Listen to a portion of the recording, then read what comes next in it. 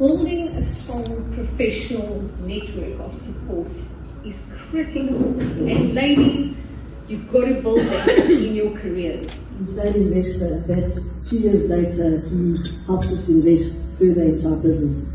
He saw us as, you know, competent people. Finally.